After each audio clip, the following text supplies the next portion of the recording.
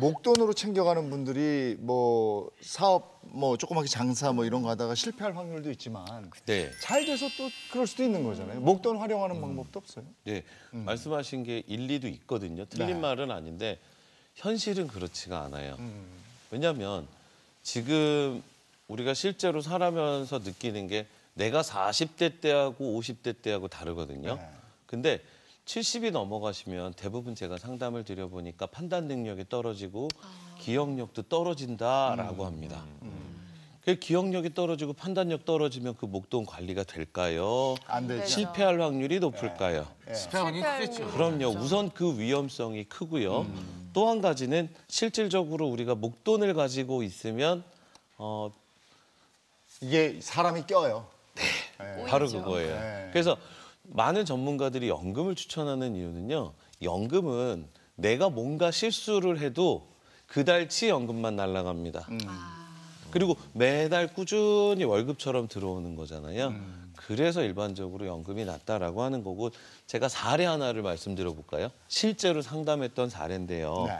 제가 작년쯤에 저한테 재무 상담을 의뢰하신 분이 있는데 젊어서 너무너무 건강해서 운동도 많이 하시고 진짜 와- 왕성하셨어요.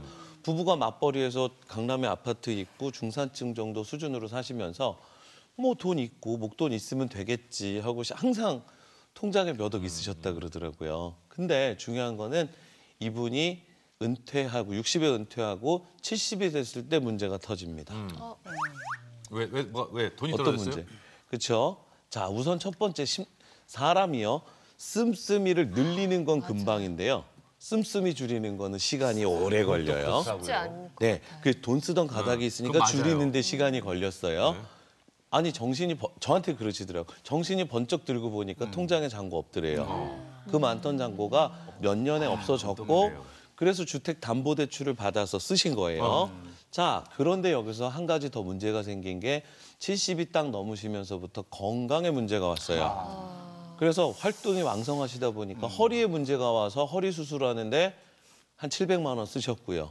허리 수술 끝나고 나니까 어깨 수술하는데 또 몇백만 원 쓰셨는데 이제 또 무릎이 안 좋아가지고 병원에 갔더니 인공관절 수술을 해야 된다라고 해서 저한테 의뢰가 온 이유가 지금이라도 나도 남들처럼 연금이나 이런 거 아플 때 병원비 나온 보험 준비할 수 있겠느냐라는 의뢰가 왔었는데 결론적으로는 제가 해드릴 게 아무것도 없더라고요. 너무 늦어. 너무 늦었죠. 솔직히 왜 우리가 늦었다고 느꼈을 때 시작하면 된다라고 하잖아요. 그때가 시작이라고 하는데 제가 단언컨대 노후 준비는 늦었다고 느끼면 진짜 늦은 겁니다.